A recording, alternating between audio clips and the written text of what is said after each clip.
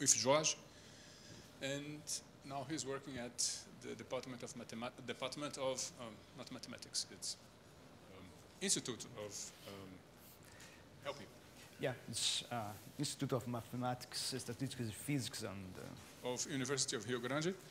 And today he's going to talk about uh, on, he's going to talk on control on the on the choice of the Tikhonov regularization parameter and the discretization level, a discrepancy-based strategy.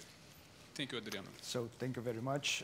Thank you very much for the organizers to invite me to be here uh, in this special semester. Uh, we learn a lot from these few weeks on, on this nice conference. And okay, let's go to the, the topic of this talk. This is a joint work with my advisor here in ADIPMA, George Zubelli, and also with my colleague Vinicius Albani, at that time here in IMPA doing his uh, PhD. So the, the question that we, we raised at that time uh, was, well, uh, normally when you solve an inverse problem, you discretize uh, on the the space where the forward operator is uh, it, and normally also numerically you you, you just uh, represent your solution in a finite dimension space. Uh, is what you can do in a computer. Uh, so we, we raise a question. Uh, there is some possibility to choice uh, a priori or at least give up a bound, a priori a bound for the regularization parameter in a Tikhonov type regularization and also from the discretization level in your forward operator or in the imaging of your forward operator and in the domain of the forward operator. It's, let's say in the base where you represent your parameter in some problem. And so probably all the audience say, yes, it's possible. I know how to do this. I know how to handle this. But uh, as we will see here, uh, we, we try hard to, to get a, a very nice theory for this. But when we try to mix up all the pieces, it uh, became harder than we imagined in the beginning. So uh, we need to assume many, many uh, hypotheses that is somehow hard to verify. Um, so that is the, the topic of the talk here. Um, so I will start just say, okay, we are solving an inverse problems that we see for this whole week or for the whole special semester here. And so uh, I will start to uh, assume uh, what is needed for, at least for the beginning, what is needed to prove what we wanted to prove. Uh, and then uh, we just go straight away to prove existence and stability of the regular uh, the, for the Tikhonov minimizers in the sense that I will show in a few seconds. And then we go to the discrepance principle that we put there uh, in order to have, uh, let's say, a bound from, for the discretization level in terms of noise data on, of, that you can measure. Uh, so we may, uh, we more or less divide because it's, the arguments is quite similar if you just assume that only in, you know the whole operator and you try to just, you, you, wanna, uh, you just want to uh, represent your parameter in a finite base, let's say, for simplicity. Uh, and then when you do the, the other way, you also say, okay, I discretize, I, I, I don't know really my full operator, I just discretize this. So the technique is more or less the same, it's just uh, a tuning argument, let's say. a choice of a subsequence in, a, in some sense, um, with some diagonal arguments. And so I just divide this, and the, I think the, the main uh, topic is here. And then we ask, uh, okay, let's assume a, a, little bit more. We have some source uh, uh source type condition. So can we prove something about the convergence rates of, you know, of uh, our minimization with, the, with respect to the noise data and with respect of how many elements on the base you choose uh, a priori here. And so we did that for uh, at least for one uh, case, and well, at the end I will show you at least one numerical example that's uh, comprove, uh, that proves numerically what we are saying here. So, okay, uh, normally when you put an inverse problem uh, for a PDE equation, let's say, uh, where f is the forward operator, and so we are assuming here reflexive Banach space, but indeed, in, in really, uh, this Banach space should be at least uh, more than reflexive. We need a, a countable base on that, so a like a Schauder base in some sense. And normally, when the, the, the whole theory works very well in a uh, in, in, in a infinite dimensional framework. Uh, but as we know, we see, uh, and as we are working all days, the, in reality, uh, we just solve in a finite dimensional setup and, or in a discrete setup. Uh, okay, we assume the, the standard thing. We know that we just have noise data and the ratio of the noise data with the real or, or the, the true data are bounded by some noise level. And sometimes also the data are very sparse. In, in practice, they are very sparse uh, or very few measurements are accessible. So those questions say, uh, comes out in our mind. So uh, somehow we need to have a, a good agreement between the finite and infinite dimension description of the same problem, or where you solve it and where it's placed. So the question that I just uh, say before was more or less this, this one.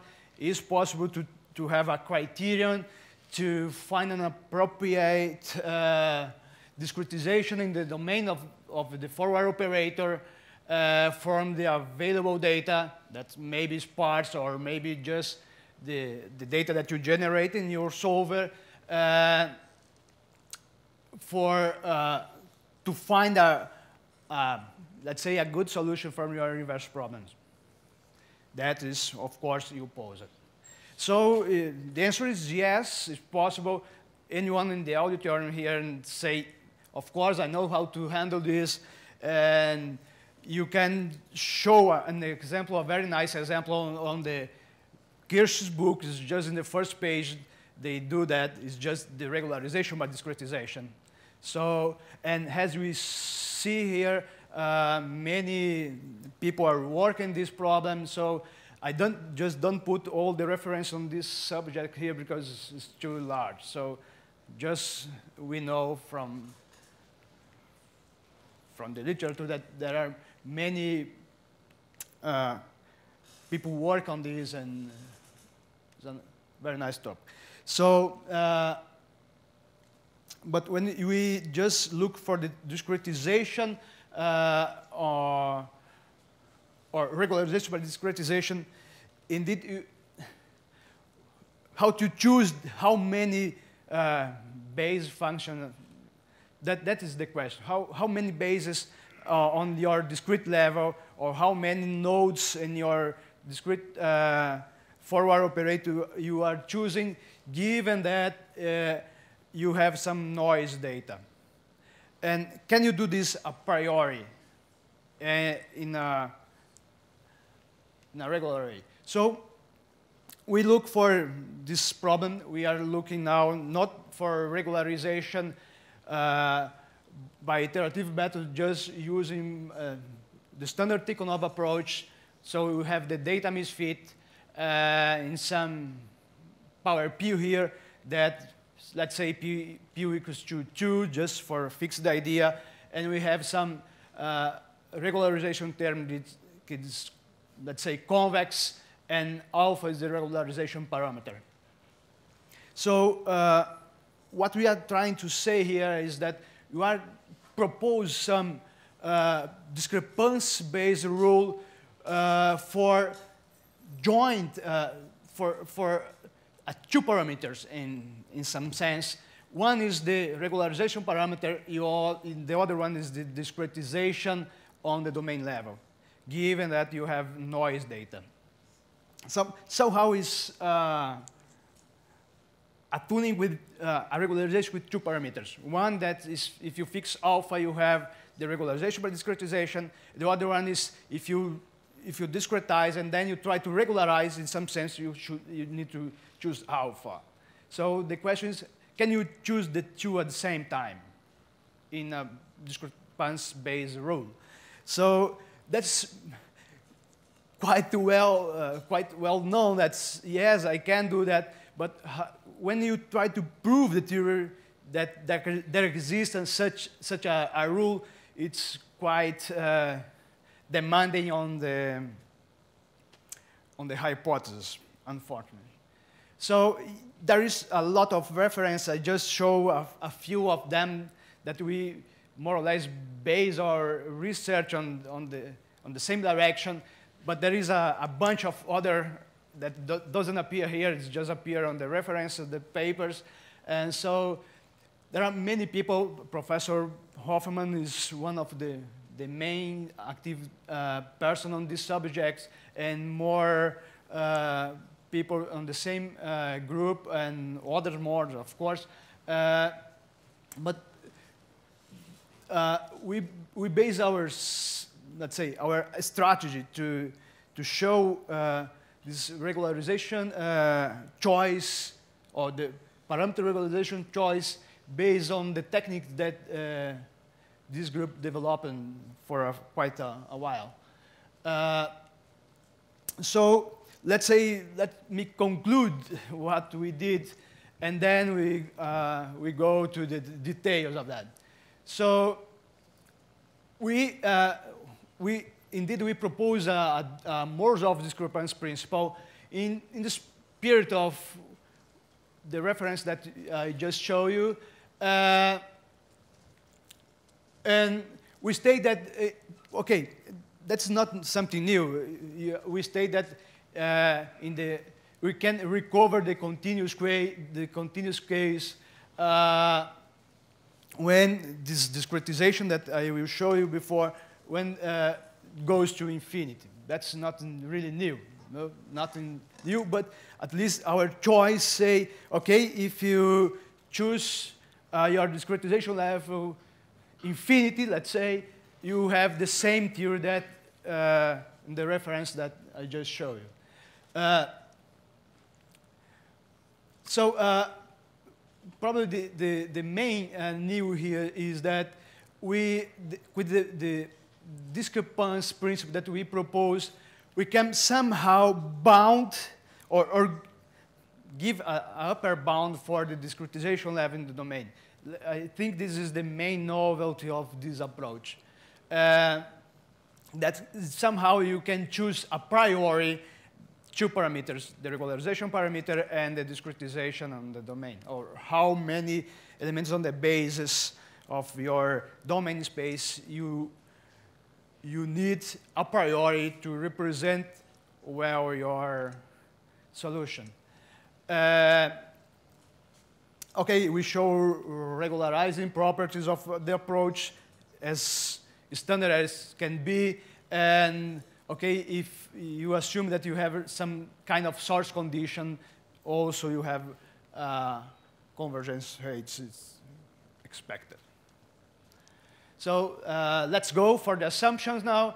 Uh, the assumption is, okay, uh, the regularization functional, here is x0. x0 is our a priori information because the functional can be nonlinear and is weakly lower semi-continuous, convex, coercive, and okay, and proper. So let's say it's don't take value plus infinity everywhere. Uh, we also assume that the domain of the forward operator is in the, t in the interior of the domain of this convex functional for everything for the Tikhonov functional to be well posed. Uh, it should have a minimizer.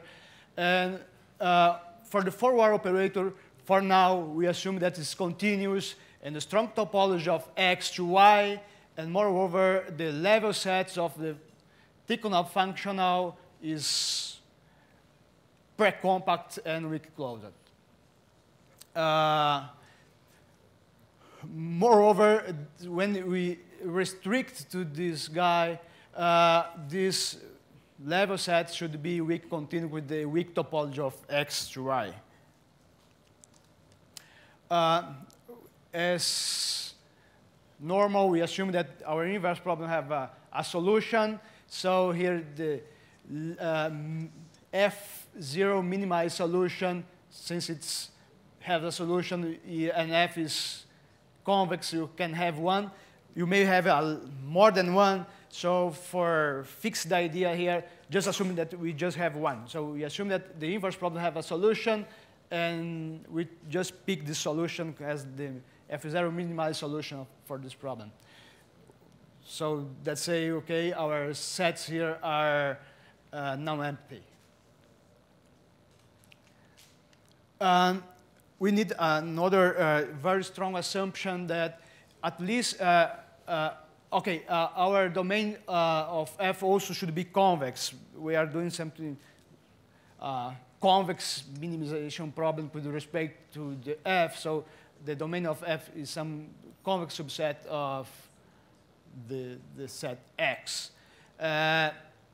Uh, so we need a, a, another assumption here is that your forward operator in this convex combination between your prior and your F0 minimized solution should grow to zero rapidly than the polynomial.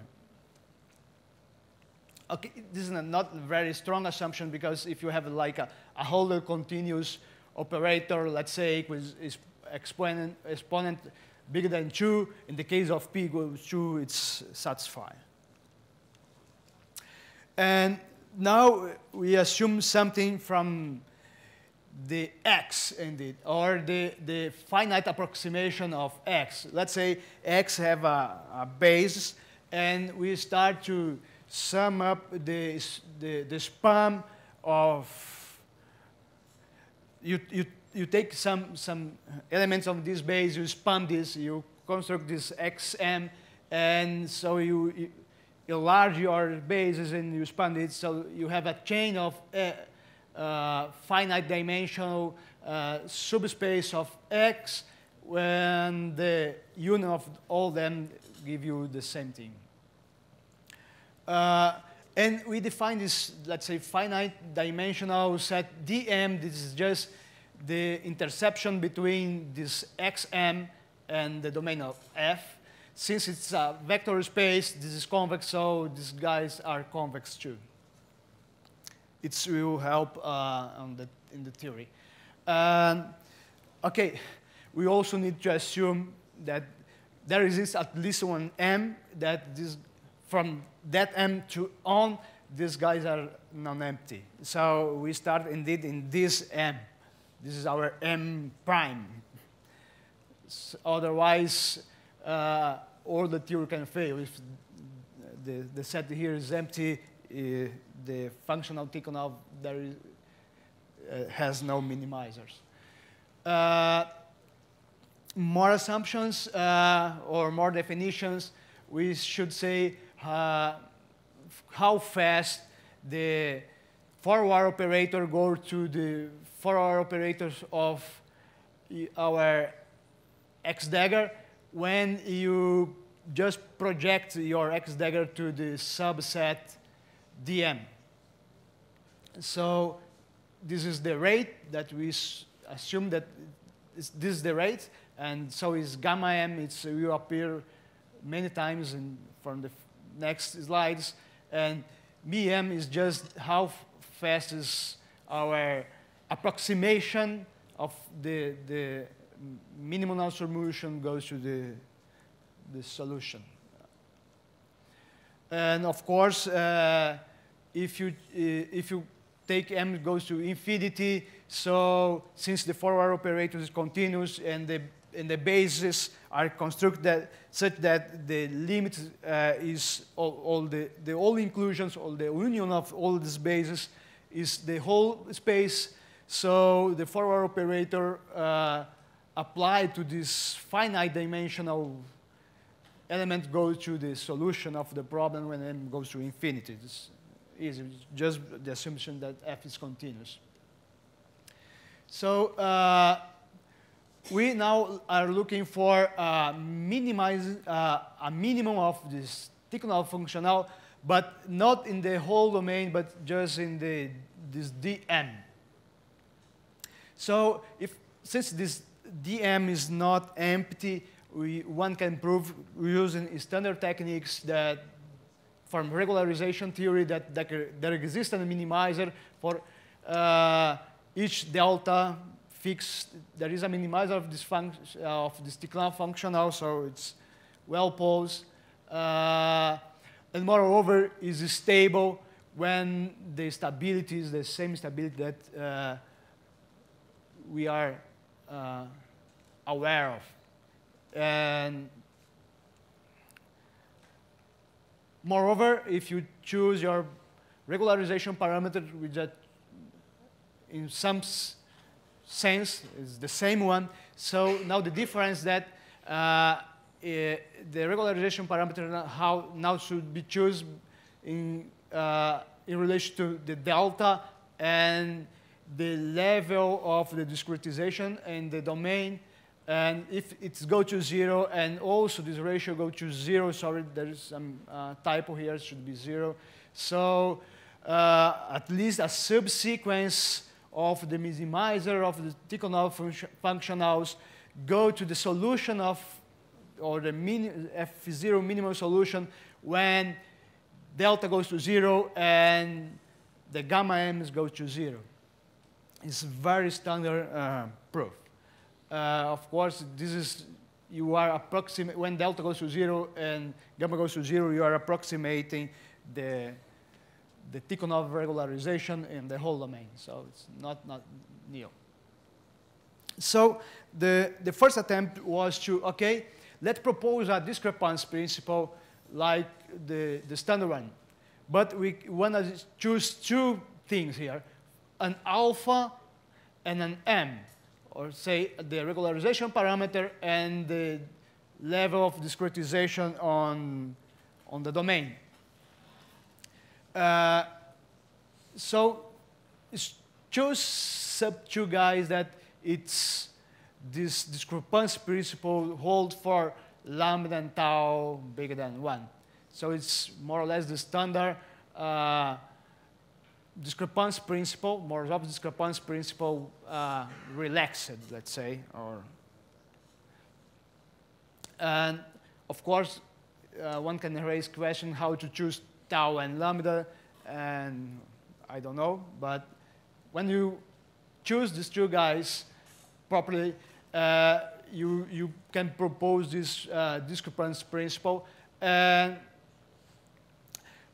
we can prove using very similar argument to the, the reference that I just showed you that there exists an M and an alpha that chosen appropriately, uh, you can satisfy this discrepance principle. And the answer is quite, quite obvious because if you took M to plus infinity, you have the same, uh, if you took, took M to plus infinity, you have the same standard discrepancy principle. So now it's just like a, a diagonal argument, but from the end to the come back, let's say.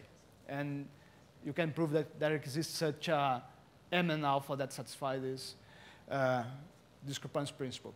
But it, indeed, it doesn't say nothing about how large should be M.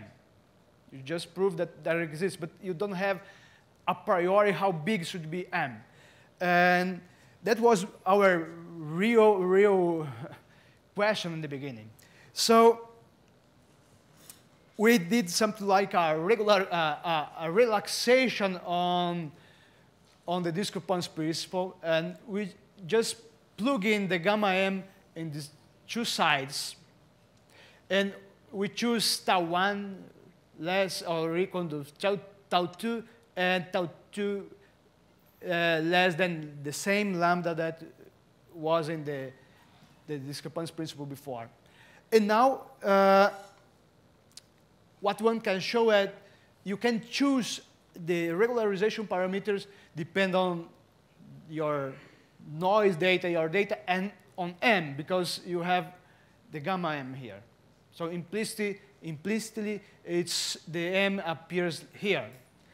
And again, using a, a, diagonal argument, you can prove that there exists such a, a alpha that the minimizer of your functional, Tikhonov functional satisfy, satisfy this uh, principle. Okay, now uh, since we have this, this part and this part that depend on M somehow, you can just compare this principle with this principle, and it's nicely, just comparing the two terms, it's nicely give you at least an a priori bound for the level of discretization. So in some sense, this is the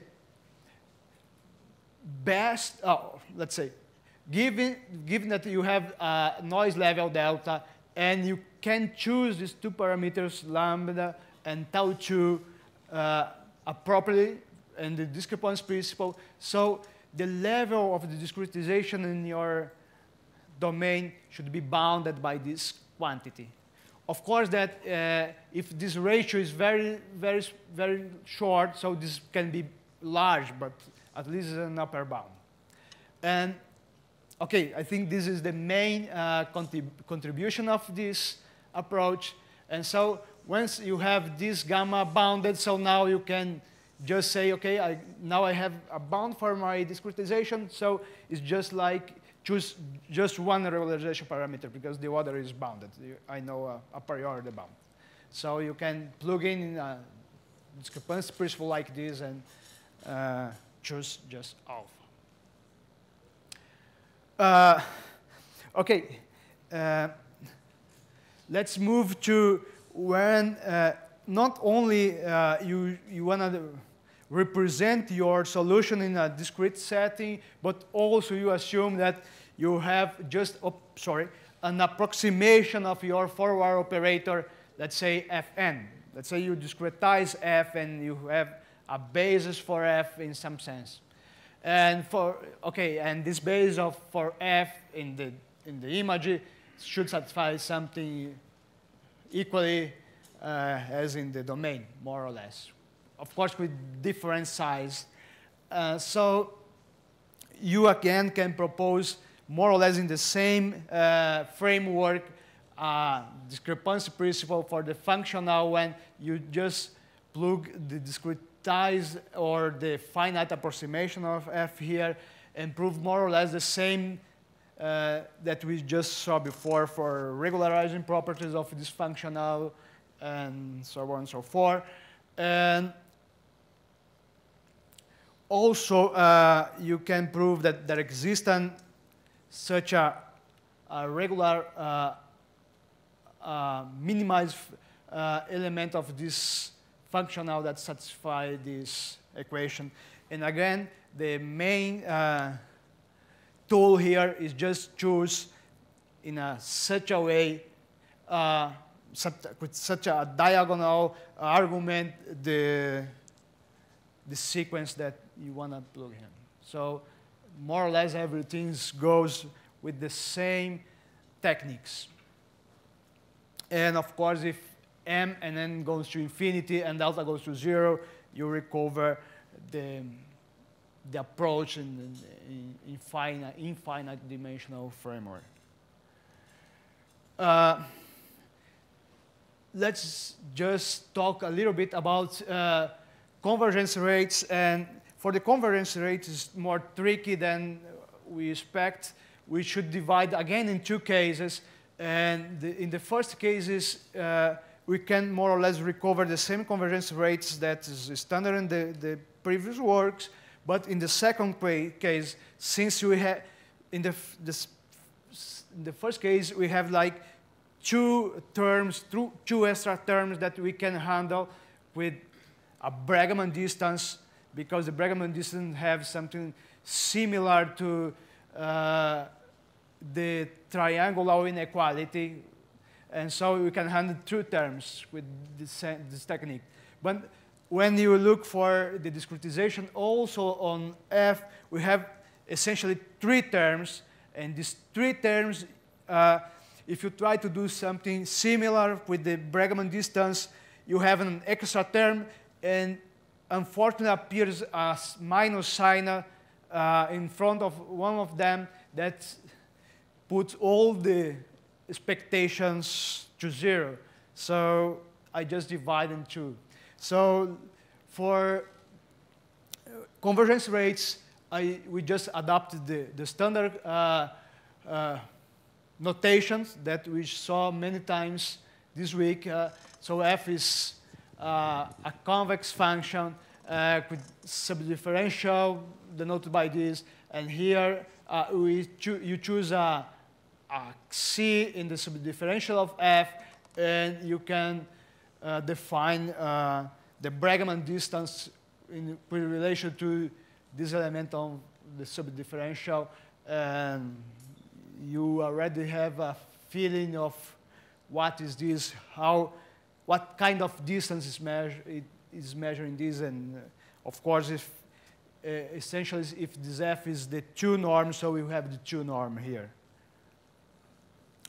Uh, so uh, we assume that the forward operator, the full forward operator satisfies this variation of source conditions and the nice thing about this variation of source conditions, in some sense is the Bregman distance appear here. So we can play with our theory in this sense. And it will help a lot on the, on the derivation of the theory. So let's, for the theorem, assume, okay, you should choose beta 1 and beta 2 carefully here, and so on and so forth. Uh, but the main theorem is let's say we can recover the same convergence rates as the standard uh, approach, let's say, and also more or less the same convergence rates in the Bregman distance sense uh, up to some uh, boring uh, hypothesis that you took more the, the time that I just talk here just to show how many. So I skipped that. It's in the paper. If if you want to discuss, uh, we can discuss later. Uh, so in, for when you just need to choose alpha and m uh, for this approach, we can more or less recover the same. But uh, in the, oh, sorry, here should be an fm n here. Uh, and here is a typo, and here is another typo. It just should be n here and m here. But anyway, uh, so for the two terms, I'm sorry, it's okay, I think it's okay.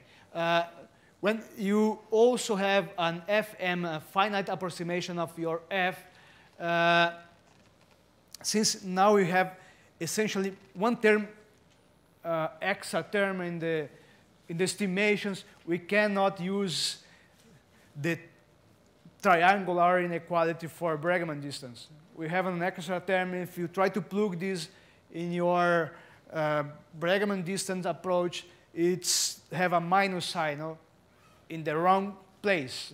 And we cannot overcome this for as far as we know.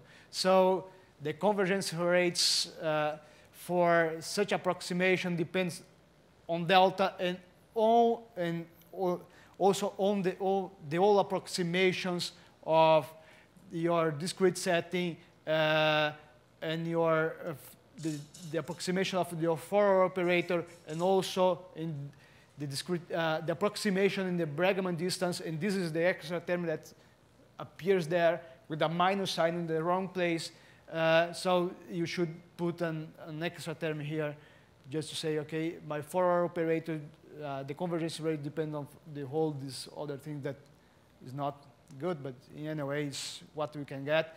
And the Bregman distance, sorry for that, but it's the same thing. So nothing new. It's the same convergence rates on the setting. Uh, okay, uh, I just very quickly uh, on, on uh, an application. Here we have a, your favorite parabolic partial differential equations. So the forward operator is giving you, uh, in some points, just solve your parabolic equations, knowing, uh, sorry, given A, uh, the, the heat coefficient, solve your parabolic uh, equations. The inverse problem here is getting information about you or in the boundary or mainly in the domain, but just a discrete uh, information view that is related to the Black and Scholes equations. In this sense, uh, try to recover your A, and A here is a, a two variable, is a, uh, a surface, so it's a two variable coefficient. Um, of course, now comes uh, what we need to assume about this problem to, to for the regulators to be well posed, the, for, the for the forward operator that take A in this set and give the information, the L2 should be well posed, so we need to uh, assume a little bit more. A should be more regular than H1. And okay, just for the numerics, we choose sigma like this, and we set A like for uh, the, uh, the, the sigma over 2 uh, square. Uh, and we choose B in the, in the solution like 0 0.003 just see. Uh, what more? Uh, okay, and the, the whole uh, iterations or the whole thing that we uh, you see here, we assume just sigma constant like 2 over 5 for this our a priori. So we generate the data. We didn't it in another situation for real data. Here we just generate the data. So we generate the data with a Crank-Nicolson uh, strategy uh, the step size in time uh, given by this and the step size in the space direction like this. And for uh, avoiding inverse crimes, we just uh, solve the inverse problems in a coarse grid like this. So, and we test again uh, the representation of our bases uh, with the same uh, uh the same grid in space, and in time we just uh, take it smaller and smaller. So here is the data misfit uh, with relation to mesh points. And of course, here is just a normalization of how many mesh points. It's just the product of this per, by this. No? Give you the number of mesh points. So your uh, data misfits come down, and here is uh, gamma times tau. Uh, we choose 1% of noise 0.1% of noise in these simulations. So here is the upper bound for the discrepance principle.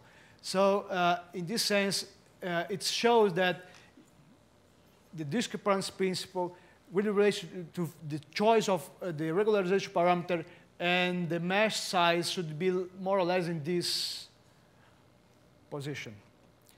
And of course, if uh, the theory say that, now if m goes to infinity, all is uh, the once you are in the in this region, so you are always in this region. So nothing new. It's just what we show. If m goes to infinity, so we recover the, the theory uh, on the previous papers. And so if you look for the evolution of the difference between the, the solution and the approximation of your solution, you see that it is increased, but the lower val value of the L2 norm is coincide with exactly with the number of elements on the base that you choose given by the discrepance principle. So in some sense, it tells you that if you go further in the, your representation, you are putting something not really nice on the solution. So in some sense, the, what we, we show here is, okay, uh, is quite uh, agreeing with the, the, theory. So the conclusions we saw before, so I just skip. Uh, okay, I, I had other questions, but muito obrigado.